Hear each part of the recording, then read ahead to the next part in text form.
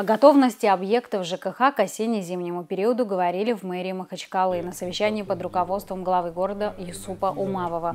Мэр напомнил коллегам, что вопрос подготовки к осенне-зимнему периоду Махачкалы стоит на контроле у руководства республики. Он также отметил, что основная проблема – это изношенные сети. Также Юсуп Умавов затронул вопрос своевременной оплаты за потребленную коммунальную услугу. Самой значимой проблемой является, конечно, изношенность сетей которое вот, э, из года в год мы переносим, говорим, э, что есть проблемы, изношенные сети, и по этим проблемам у нас ну, движение есть, но так темпы не чувствуем, потому что и масштабы растут потребления, поэтому нужно будет здесь э, нам и эти какие-то проблемы снять и поговорить о том, как мы сегодня готовы осеннему периоду, зимнему периоду. На каком уровне мы находимся, чтобы люди тоже понимали, что надо за потребленную электроэнергию, любые энергоресурсы надо платить. Если не будем платить, если не будем платить, соответственно, у них э, возникает вопрос о том, э, нужно ли нам э, инвестировать на их объекты, чтобы мы как бы улучшили свою мощности своих наших этих трансформаторных подстанций, увеличили мощность для того, чтобы наши потребители могли вот, э, получать достаточное э, количество электроэнергии, достаточное количество газовое э, обеспечение, чтобы было.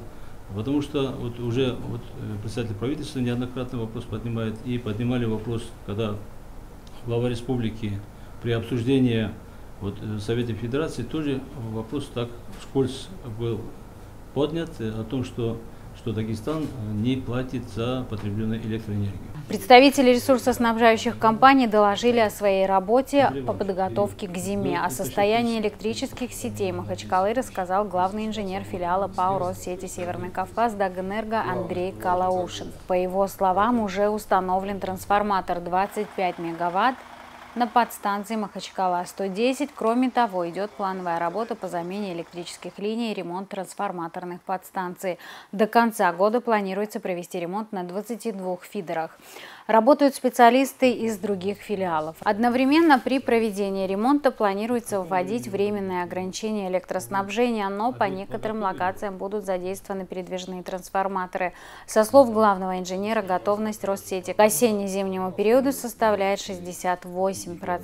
Качкалинские Россети выполняют эти замечания и будут готовы к прохождению осенне-зимнего максимума электроснабжения города Махачкалы установлены дополнительные БКТП 15 штук, подключены к этим БКТП кабели 0,4 киловольта.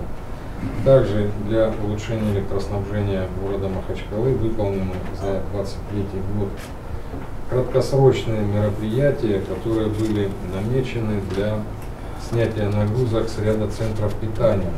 Заместитель начальника отдела энергетического надзора за гидротехническими сооружениями по Республике Дагестан Кавказского управления Ростехнадзора Рафик Алиев сообщил, что на конец недели в рамках планируется контрольная проверка объектов ЖКХ и, исходя из проверки, будет дана оценка готовности компании. В конце встречи Исуп Умавов поблагодарил участников совещания и напомнил по каждому озвученному проблемному вопросу отчитаться о проделанной работе к следующему заседанию. Также в ходе заседания штаба были вручены благодарственные письма и почетные грамоты.